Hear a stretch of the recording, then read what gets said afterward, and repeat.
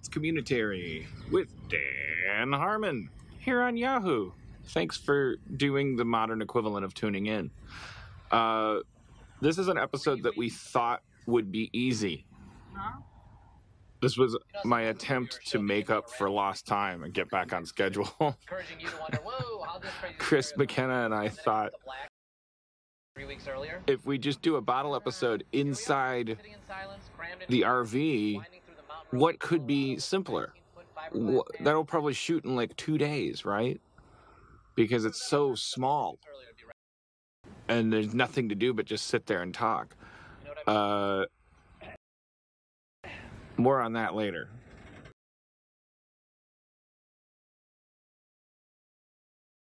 Abed is Abed is referring to something that I've been kind of angry about for a while. I this three weeks earlier trope in cinema and movies.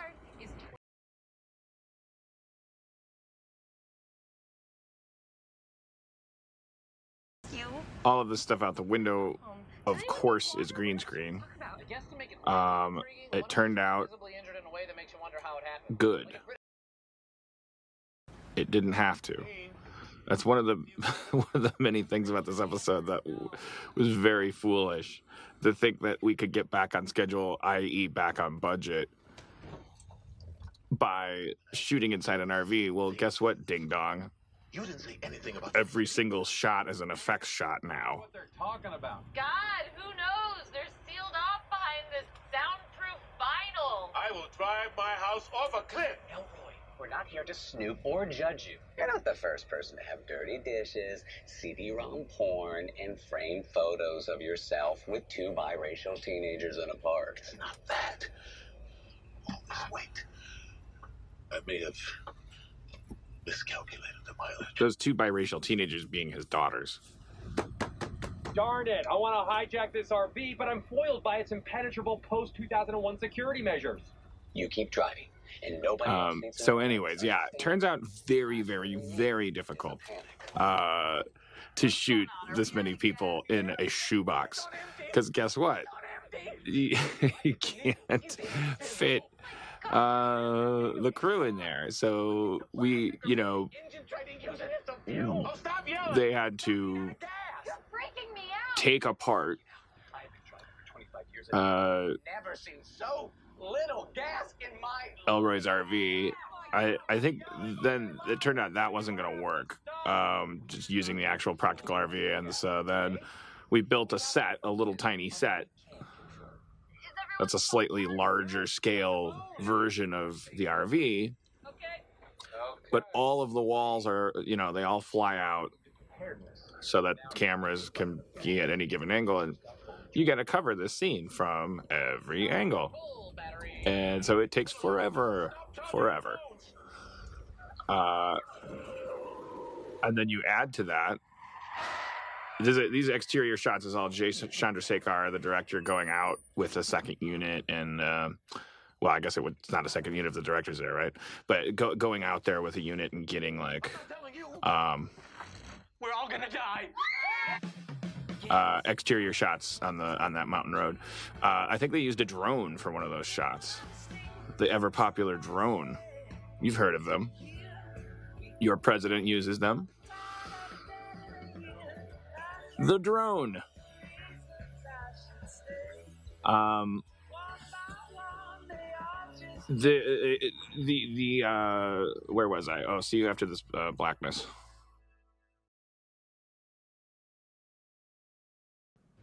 All in favor? Then that solves the matter of Um, the hand. Yes, I'd like to move that we establish this moment as the opening for a flashback. The hand was a find by Rhonda Robinson. Um, we knew we could count on her. Um, that's green screen, by the way. That was a beautiful green screen shot on the CBS lot. Three weeks earlier thing. Abed, insert dialogue here about you dropping the fourth wall shtick. Nice. Careful you don't flood it. Um, that's the fifth time you reminded me not to flood something. I'm sorry, but it doesn't apply to our situation. I'm going to check the battery. Can you send someone or not? the the hand was we, we McKenna and I decided let's just have them driving. Let's just have them hauling something really weird, really random on the roof. Hi, it's me.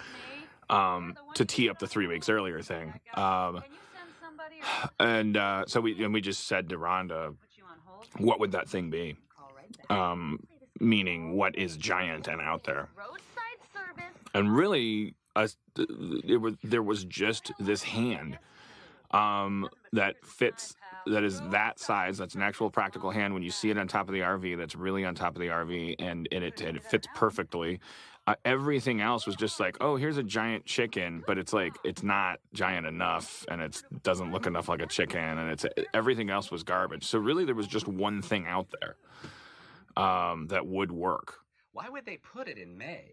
It's just sitting there in Memorial Day's shadow like a military Hanukkah. Uh, we- felt like we needed to justify in the modern world why we remember is the one with the we didn't want to just say there's no cell service because that f- feels like an old cop out now in these post horror movie days of like you know okay everybody always doesn't have a signal even though they probably wouldn't have a signal um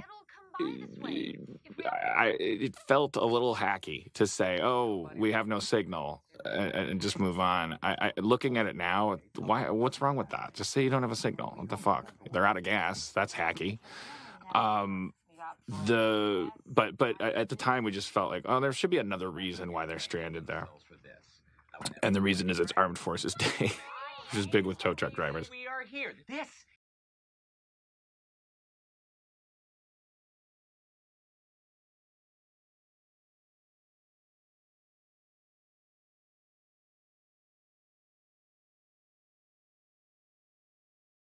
stuck in a Rocky Mountain. All this green screen is, I mean, it's really notable. I mean, the the and forced to decide this isn't the kind of episode you'd think you'd be thanking the special effects people uh, more than another episode because it's about people inside an RV. But again, these are all special effects shots, and if any of them is a little wonky, it's going to throw you right out of the narrative. And we've all seen, you know, even in great shows, some every once in a while you cut to a guy driving and and there's that weird rim around him or you just get you just have that overwhelming green screen sense and it, it, it just throws you right out of the narrative.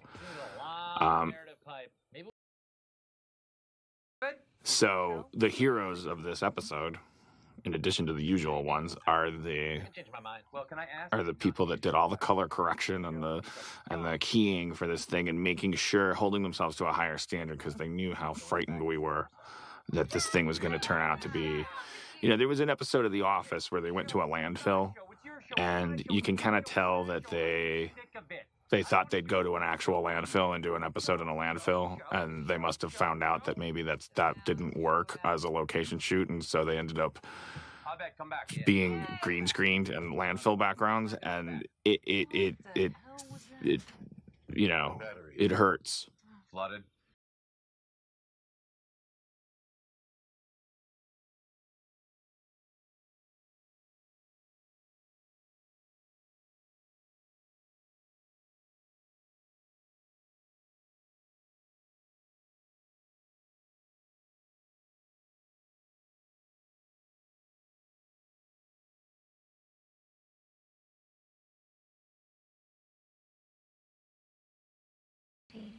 That's just that's just me that's just me airing a grievance it's hard to be a jerk have it's even harder to be a jerk when people are rooting for you and then you and then you're just like hey i'm rooting for me too and then they're like oh my god you're a jerk. I rewire the secondary battery to the engine and hope it can start it. If it doesn't, we're spending a very cold night with two dead batteries. Okay, let's switch the batteries then. Good democracy. Are we sure the secondary battery won't just die too?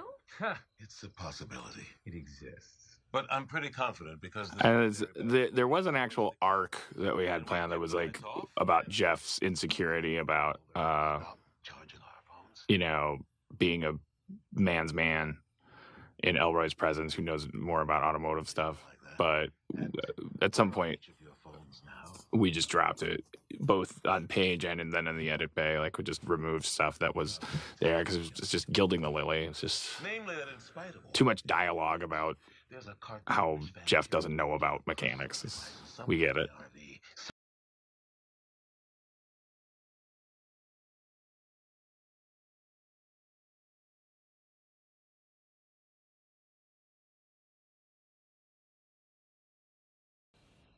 There was more dialogue there. Positioned? His little speech went on a little bit, uh, but uh, uh, Keith kept Keith kept bursting into a rage, and I, I, I didn't, I don't, it didn't feel right. I didn't want everybody yelling at each other the whole episode. So, Most conventional weapons don't require electricity. and Are you going to eat me first?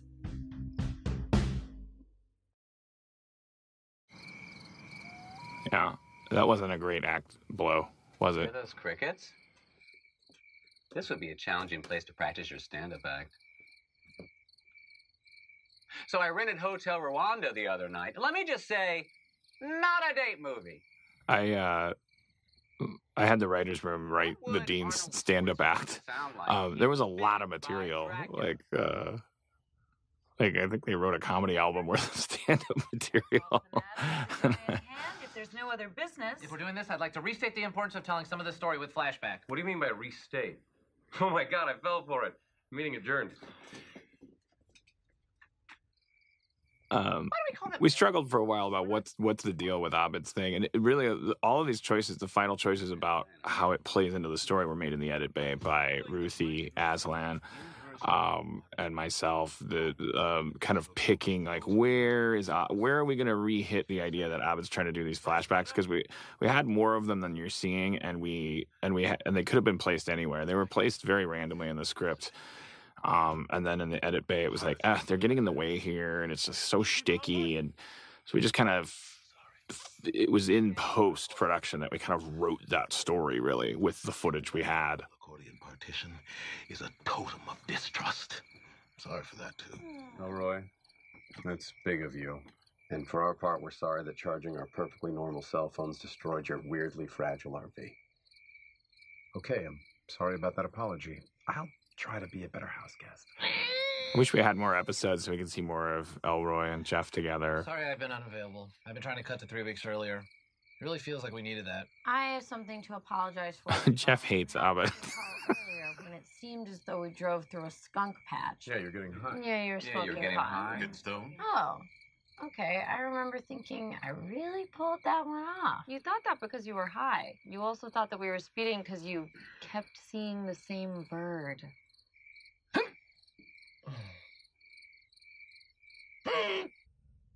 All in favor? Then that solves the matter of the giant hand if there's no other business. Let me just explain the need for flashback here, and don't interrupt. Okay, one quick thing, and then you can talk about flashbacks forever. Meeting adjourned. So we don't know if this is actually happening. Earlier on TV, they're not traveling in time, dip ass. Kef. Okay, my apology now. Um, Had some time to think We'll find out later. It's not. Decided But uh, for not asking people what they wanted. yeah, there's. I mean, there's flashbacks. We could have done them anywhere because we had all this coverage of Abed doing that like flashing back thing. I've done on this trip. I've been. And uh, Yeah. I mean, there's flashbacks where he's like trying not to raise his hand, uh, as if that would you know change history. So he's like struggling to lower his own hand and can't do it. And it all turned out to not be necessary because this is the story that we're really tracking to the extent that we're tracking something because it has emotional weight. I forgive all of you. Hmm.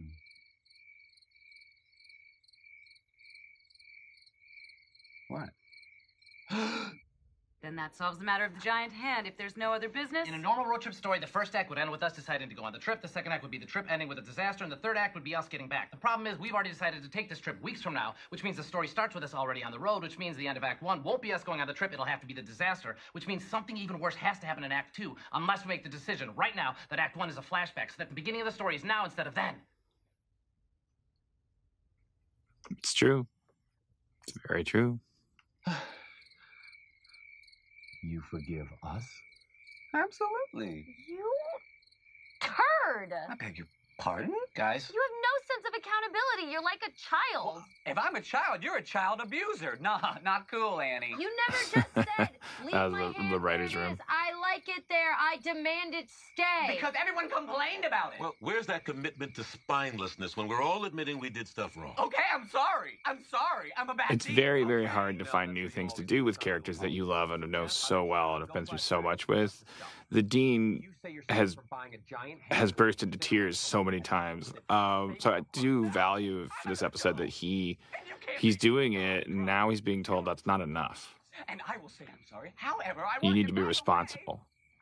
Accountable. It's my giant hand, and I love it. We're not selling it.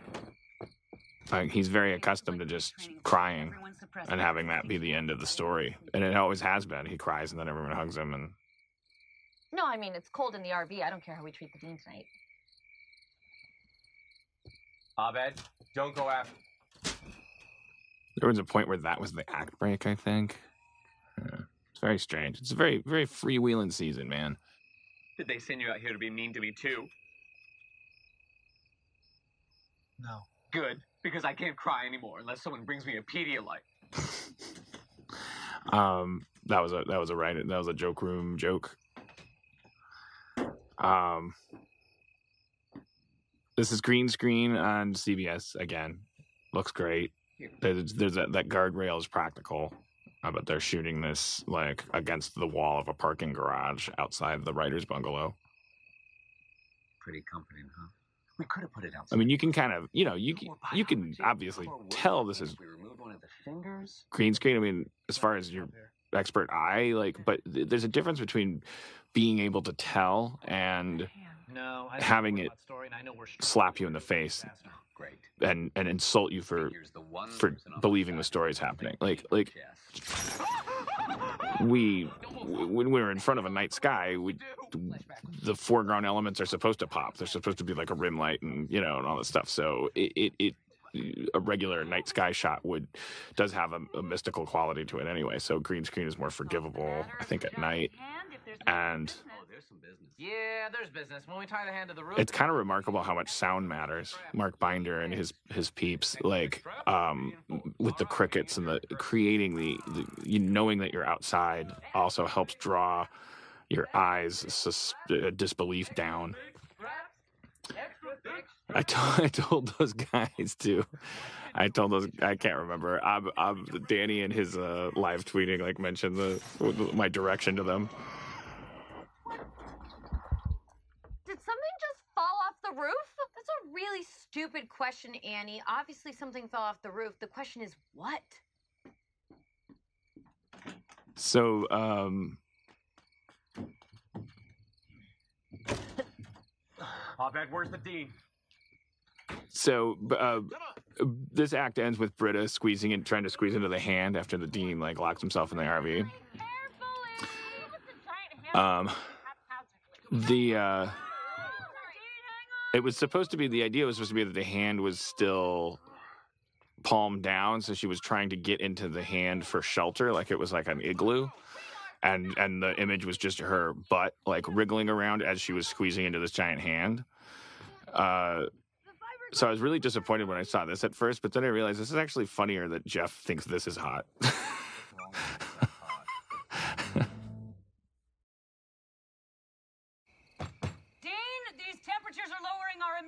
Because you can draw all kinds of uh, thematic conclusions from that. Like, oh, Jeff is this, you know, the idea that it's a hand, the idea that our prop master's only prop that she could find was a hand, even though it could have been anything, but it was a hand. And, you know, then we write the story around this hand, and then we're discovering, you know, it's like, and the, the idea of a hand being something with which you can grip or release, um, and that, that makes humans different from animals.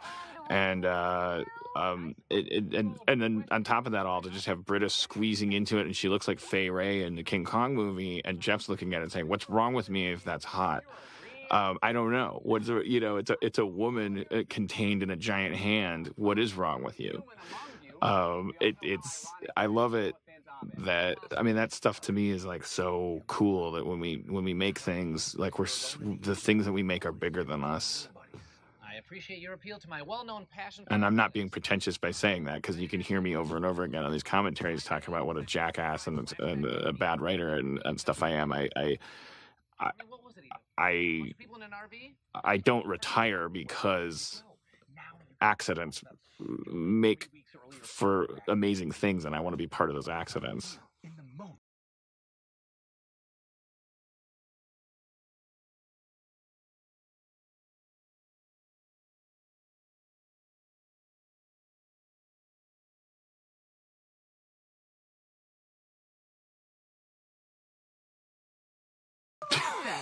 Slapped, he slaps the fuck out of him. That's insane. Uh, to be lying. You enjoy this. What has gotten into you? I, mean, I can't. I think you shocked that he's alien? I can't remember if it says in the script that he's that he slaps him, but Abed, listen. This is and I love I love what emerged is Frankie's you know Frankie's dynamic with Abed. Like she's sort of like very early Britta, in that she has so much respect for him, but sh but it is predicated on the idea that Abed is somehow special. so sad. in- in quotes. here All those centons ago. So sad. So preventable. Space Elder Abed, can you reach backward with your mind and save our species? These, again, these actors getting these pages. Space Elder Britta. Sorry, I keep laughing at my own show, uh, but I mean it's What just you guys talking about? it's just Britta, you know, even as a even as a space elder, she's still she's still the worst space elder. It's just funny. I I know you know. Um yeah, I mean I just hand pages to them and I, like, like it you know, I, I and I, I, wrote that in such a way because we were behind schedule and they did have to shoot it in an hour. So it's like I don't want to tell the wardrobe department you need to go find Matrix outfits and you need to dye eyebrows and you need to do all stuff. It's like if you want, you can just grab gray wigs or fake beards with strings on them. Like it, w- it would still work. Like it's designed to, you know, I'm, wri- I'm writing that because we're behind schedules. It would still work narratively because it's in Abed's mind. If the be- if it was just really low budget, um, but that's what those guys can do with no time. You know, they make something that, that, that looks as good as a direct-to-video kickboxing movie, like like in an hour, one hour from seeing those pages, and they throw that together, which is absolutely intimidating. Oh, Elroy is on the other side of the RV because he had to leave for a day.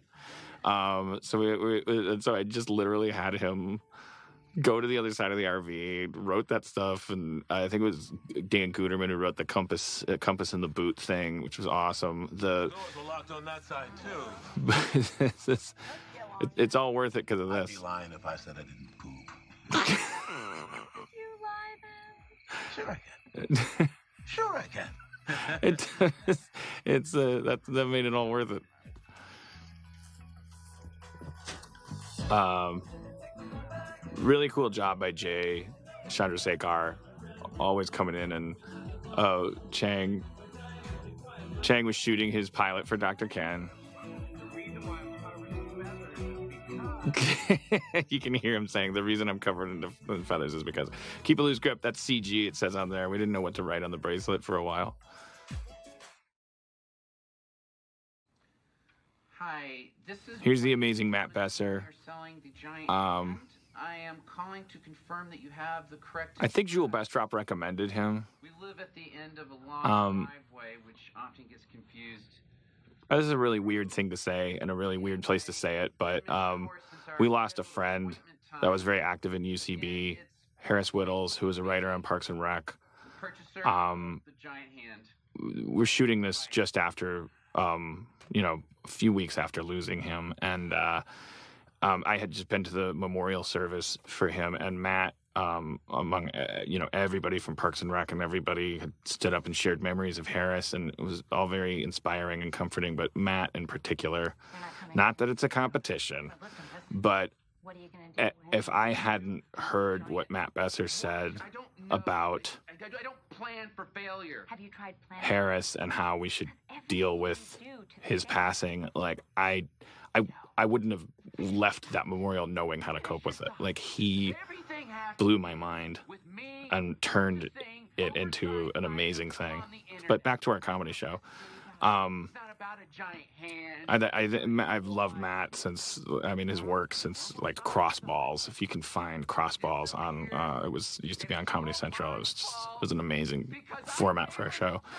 Um, And that there's these kids holding a rope for a giant kite. And, Continue to buy giant-sized versions of everyday objects when they are the reason. uh, the original joke was simply the guy is uh, waiting for his giant hand, and then you, the reveal of the giant watch would be enough of a tag. But I've just been obsessed this season with the idea. I think it's because you can feel the end coming. I, I guess these tags all sort of collectively suggest to you it's going to be okay because, like, there, it, it, we're talking about we're not talking about community we're talking about just comedy and writing and stuff like seeds can fall anywhere and grow into forests like uh, anything can be a spin-off or a, or, you know, a fan fiction or uh, you know like it it, it not, nothing don't worry about about the things you love going away.